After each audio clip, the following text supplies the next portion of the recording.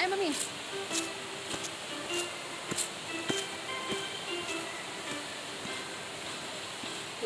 belas Agustus tahun 45 Itulah hari kemerdekaan kita Hari merdeka Nusa dan bangsa Hari lahirnya bangsa Indonesia